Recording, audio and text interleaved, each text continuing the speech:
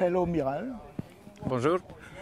Voilà. Welcome to headquarter Miribel in Verdun. Merci. Euh, Alors, j'ai une question.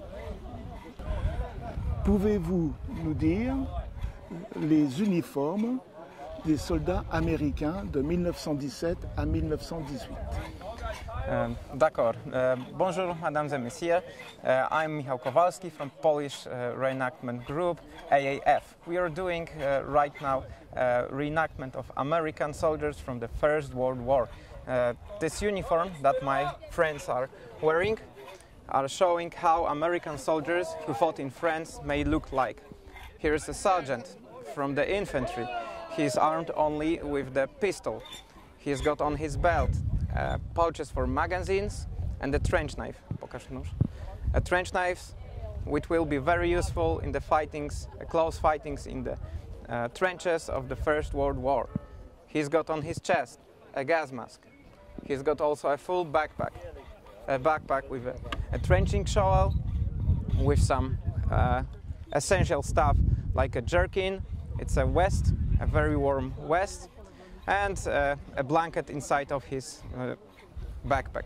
He's got also a canteen and a first aid pouch with a bayonet, on his left part of backpack.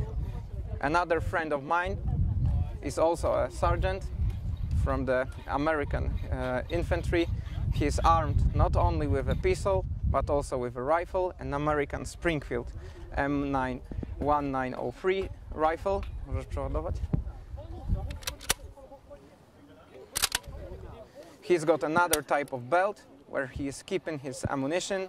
Masz maskę? Mm. And he's got also his gas mask inside his gas mask back.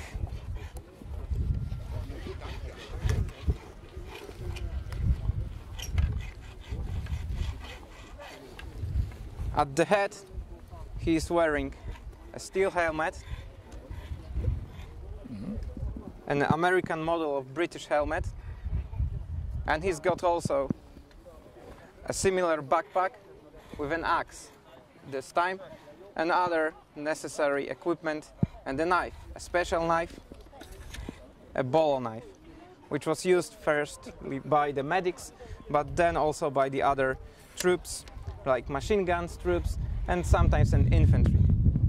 Here we have a military police personnel, a guy who was working for the security and uh, was helping to manage all the uh, troops to get into the fields and uh, make everything working out.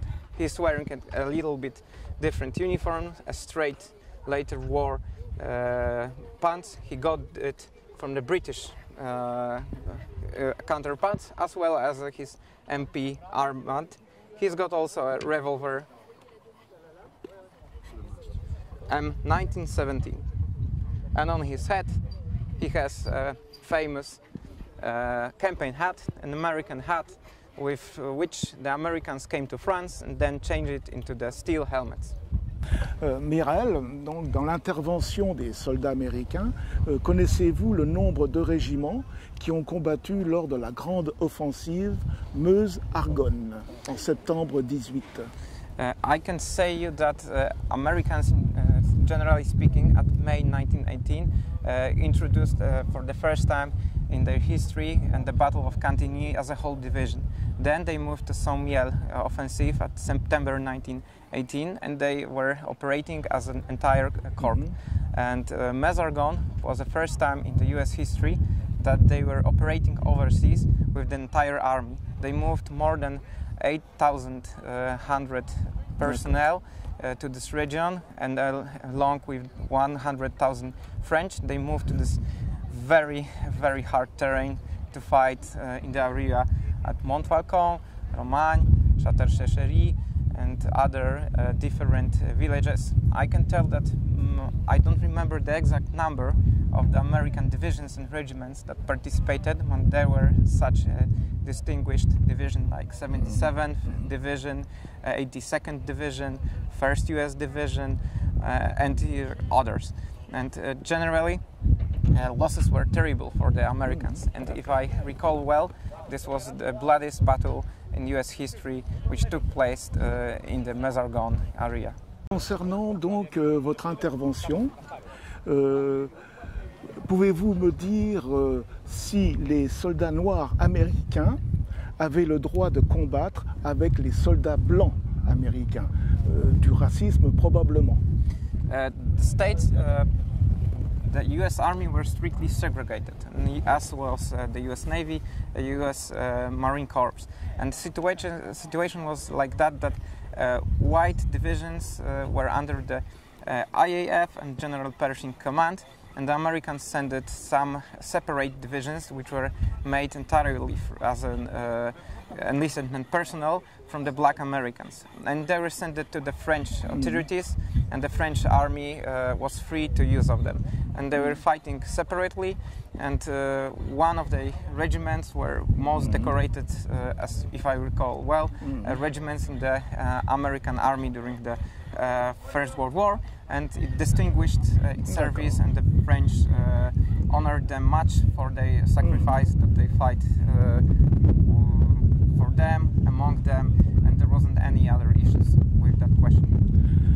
Concernant donc euh, les autorités donc militaires, le général Pershing, euh, qui a combattu, qui est votre grand chef finalement, euh, savez-vous qu'il avait son quartier général à, au village de Souilly, pas loin d'ici?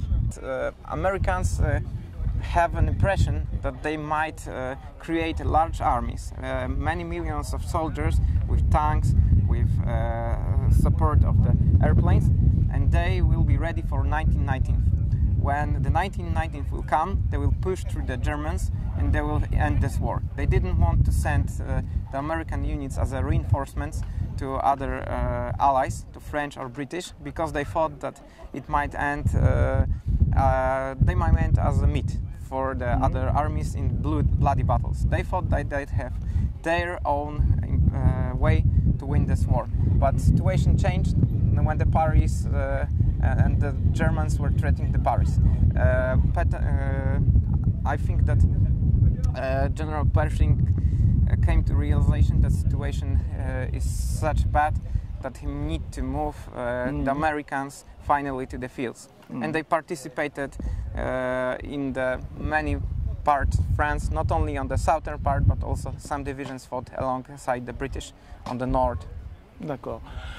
Euh, concernant d'autres euh, personnalités qui deviendront des personnalités, on peut citer donc le lieutenant Patton, commandant donc euh, une compagnie de chars Renault qui, est, qui a traversé Vauquois d'ailleurs. Mmh.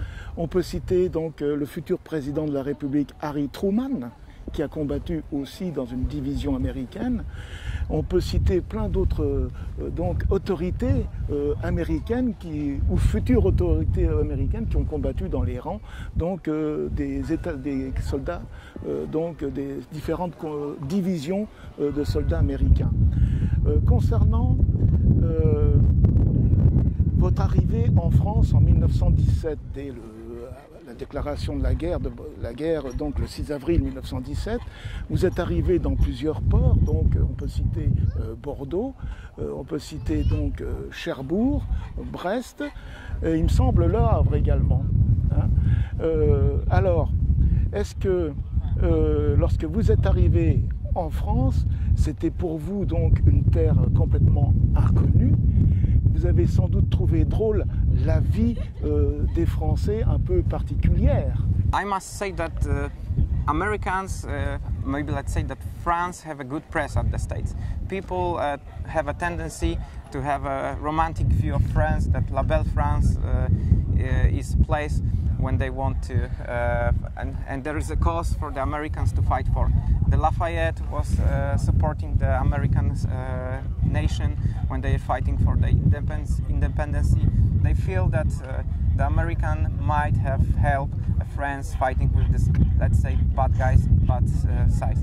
But many Americans uh, change a little bit this uh, romantic view when they fought the horrors of war. They saw the trenches, they saw the mud everywhere, they saw uh, uh poor people who don't have uh, enough food, who don't have enough uh, money, and um, they thought that this was a good cause and this is a good uh, war in which they had participated. And also, uh, it may be visible uh, about by this what was left uh, for the, by the Americans. There are still monuments, there are still cemeteries, there's uh, there's still uh, I thought a lot of French and Americans who want to keep the memory about what happened at France and how Americans get involved in this war another one, unfortunately, uh, more than 20 years uh, later.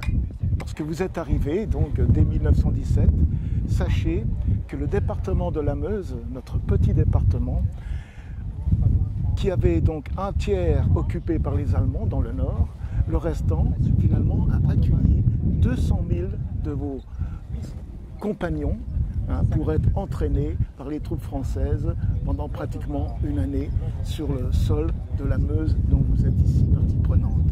Alors, je vous remercie pour tous les éléments que vous avez bien voulu nous donner. Et puis, je vous dis euh, donc un bon succès pour ces jours de reconstitution. Et ma foi, mon cœur est avec vous. Merci beaucoup. Au revoir. Au revoir.